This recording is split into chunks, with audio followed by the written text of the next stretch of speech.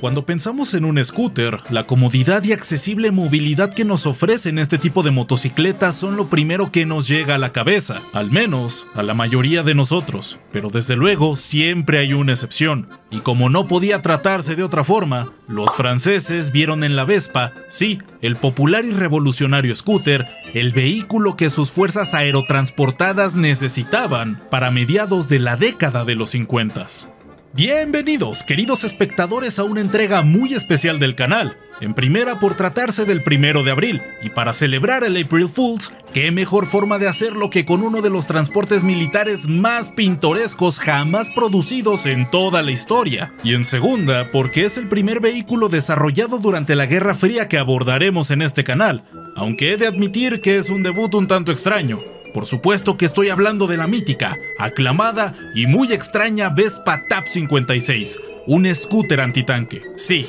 escuchaste bien, pero te lo repito porque yo sé que de buenas a primeras esta idea no queda muy clara. Un scooter antitanque, pensado para ser un vehículo aerotransportado, y el día de hoy les contaré a profundidad su concepción, producción e increíblemente su historial de combate. Así que señores, los acompaña su anfitrión de Auslanda y pónganse cómodos porque estamos a punto de empezar.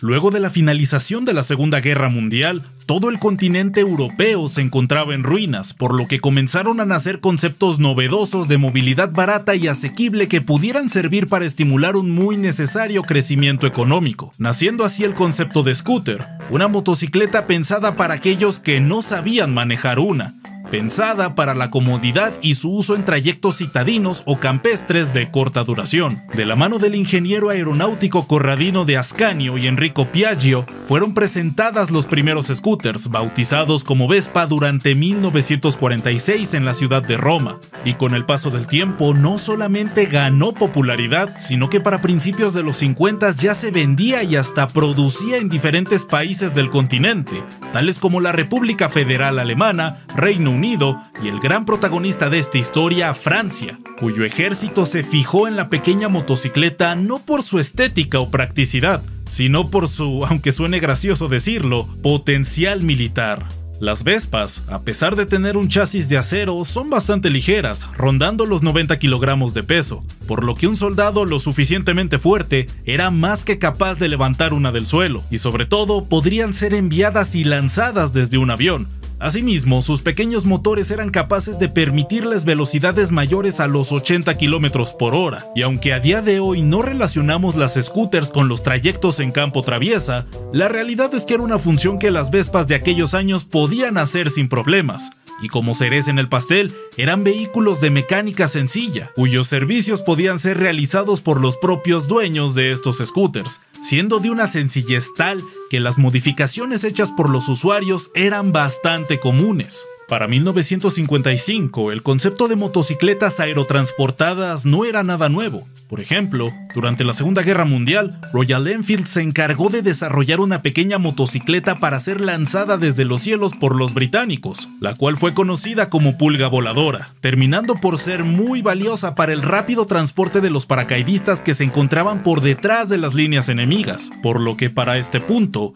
un sencillo scooter daba la impresión de que cumpliría únicamente con esta función hasta que a alguien se le ocurrió que también podría servir para transportar un cañón antitanque de 75 milímetros. El cañón elegido para ser montado en la Vespa fue un M20 sin retroceso de fabricación estadounidense de la Segunda Guerra Mundial, de los cuales los franceses tenían bastantes. Un arma que si bien ya comenzaba a mostrar su obsolescencia para el momento en el que surgió esta descabellada idea, seguía siendo más que adecuada para lidiar contra blindados improvisados o directamente obsoletos, lo que componía la mayoría del arsenal de los enemigos de Francia para aquellos años, tales como los vietnamitas o los argelinos, además de que podían ser montados en prácticamente cualquier cosa, desde un trípode para una ametralladora Browning, un jeep o, por qué no, usando la suficiente imaginación, una Vespa. Tomando estas ideas, para 1956 la Vespa TAP 56, cuyas siglas significan tropa aerotransportada en francés, estaba completamente lista, y desde luego se tuvo que modificar considerablemente para que su uso en el campo de batalla fuera lo más eficiente posible.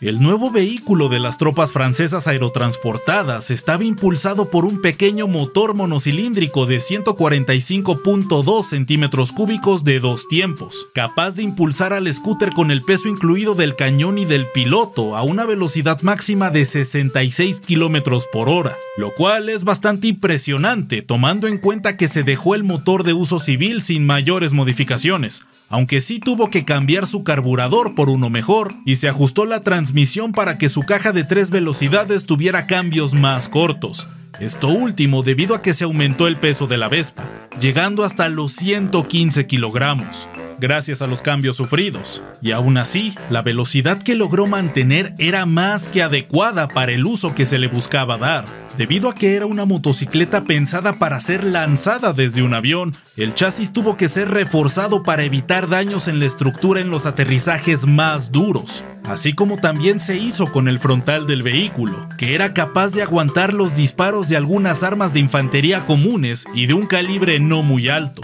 A pesar del aumento de peso, la TAP 56 logró mantener una autonomía considerable de hasta 200 kilómetros con un solo tanque, la cual se veía aumentada gracias a ser desplegada con un par de bidones extra por si llegaban a necesitarse. El para entonces nuevo vehículo fue producido por ACMA, la empresa que tenía la licencia para producir las Vespas en territorio francés, la cual fue presentada en dos patrones de pintura, uno pensado para un terreno boscoso y el otro para el desierto. La TAP 56 fue producida entre 1956 y algún punto antes de 1962. Cabe resaltar que mucha de la información de la misma se mantiene como desconocida a causa de los muy escasos reportes que existen sobre la utilización de este vehículo. Si bien aún para este punto resulta raro de ver en pantalla, los franceses lograron dar con un buen diseño, que sobre todo era barato de producir, montaba un arma también barata de realizar y se podía tener en los números que se desease. Para ese mismo 1956, una Vespa solía costar unos 500 dólares de la época, y a pesar de las modificaciones anteriormente descritas,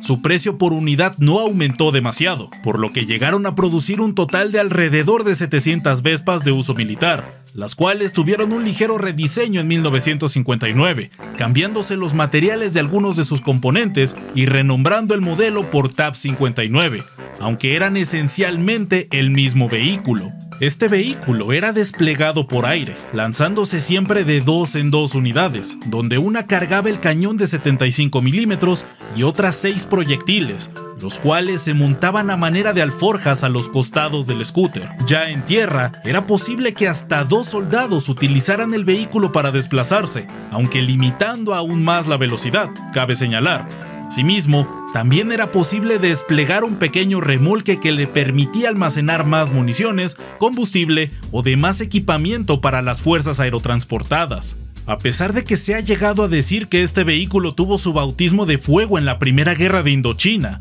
la realidad es que no alcanzó a entrar en producción sino hasta tiempo después de finalizado este conflicto. Sin embargo, donde sí llegó a tiempo para combatir fue durante la Guerra de Independencia de Argelia, donde sirvió con el segundo regimiento extranjero de paracaidistas y algunas otras unidades aerotransportadas. Si bien su cañón tenía capacidades antitanque, la realidad es que el uso del mismo fue mayormente para destruir fortificaciones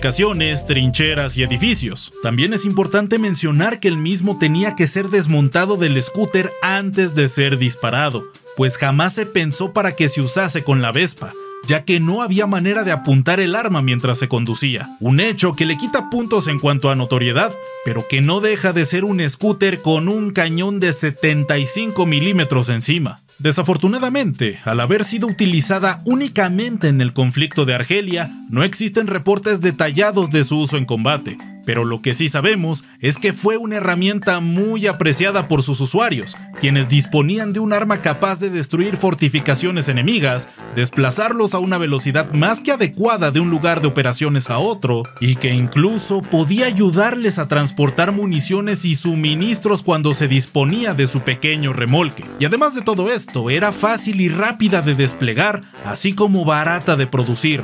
por lo que cabe preguntarse, ¿por qué se dejó de fabricar? 1962 fue el año culminante para este vehículo por varios motivos. El primero es que su fabricante, Acma, tuvo que cerrar tras el fracaso comercial del Vespa 400, un microcoche, así como también los argelinos lograron su independencia, provocando que una ya de por sí inestable Cuarta República Francesa colapsara. Y finalmente, Francia se quedó sin posesiones coloniales en donde el despliegue de este tipo de vehículo pudiera ser usado a manera de contrainsurgencia, por lo que ya no había ni motivos ni fabricante para que este modelo en específico continuara siendo producido. Pues seamos sinceros, la TAP 56 estaba pensada para ser usada contra fuerzas poco experimentadas y mal equipadas, por lo que en caso del estallido de una entonces tan temida guerra contra la Unión Soviética, difícilmente se hubieran animado a darle a sus tropas aerotransportadas este tipo de equipamiento para que fueran a luchar contra todo el arsenal soviético.